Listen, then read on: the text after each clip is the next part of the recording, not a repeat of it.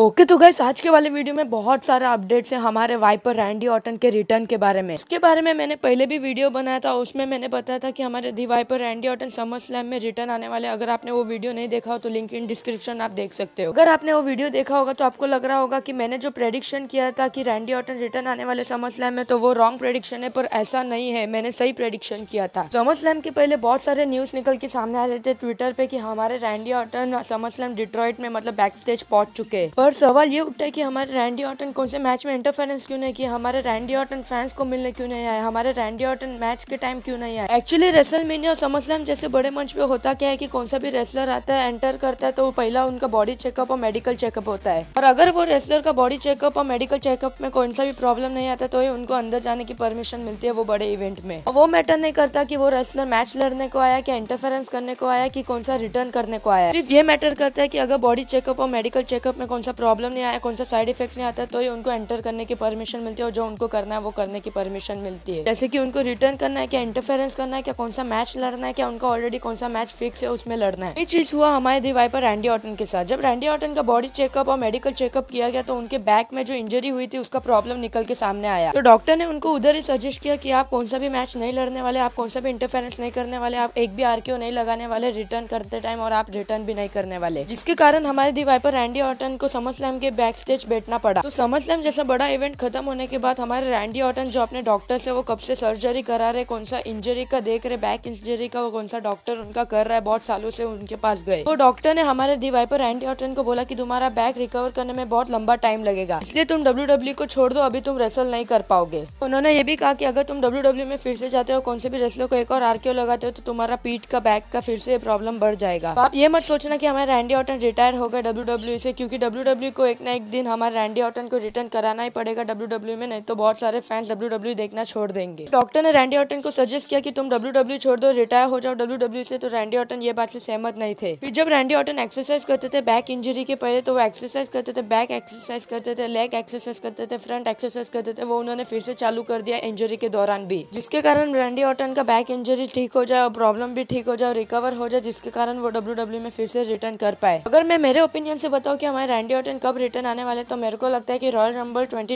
एक ऐसा मंच होने वाला है जहाँ पर रैंडी ऑटन रिटर्न आने वाले क्योंकि रैंडी ऑटन को अपना बैक इंजरी रिकवर करने के लिए तीन से चार महीना, नहीं तो चार से पाँच महीना चाहिए रहेगा। और अगर रैंडी ऑटन रिटर्न आते रॉयल नंबर ट्वेंटी में तो वो बहुत ही शॉकिंग एंट्रेंस होगा, बहुत ही शॉकिंग रिटर्न होगा, जिसके कारण बहुत ही मज़ा आने वाला है रॉयल नंबर ट्वेंटी देखने के लिए। अब ये एटी परसेंट मान लो की हमारे रैंडी ऑटन रिटर्न आने वाला है रॉयल नंबर ट्वेंटी में। तो हो भी सकता है की हमारे रैंडी ऑटन जीत जाए रॉयल नंबर ट्वेंटी पर रॉयल नंबर ट्वेंटी जीतने के बाद हमारे रोमन रिंग्स को फेस नहीं करने वाले। पर उसके लिए हमारी दीवार पर रैंडी ऑटन को रिटर्न आना पड़ेगा रॉयल नंबर 2024 में। तो आप ये समझ लो कि डब्ल्यू को एक ना एक दिन हमारे रैंडी ऑटन को रिटर्न करवाना ही पड़ेगा, नहीं तो बहुत सारे फैंस डब्ल्यू देखना छोड़ देंगे। क्योंकि बहुत सालों से डब्ल्यू के फैंस हमारे रैंडी ऑटन के रिटर्न के लिए रुके। तो अगर आप रैंडी ऑटन के तगड़े वाले फ़ैन है मेरे जैसे तो प्लीज़ ये वीडियो को लाइक सब्सक्राइब शेयर कमेंट ज़रूर ठोक देना। तो नेक्स्ट वीडियो तक गुड बाय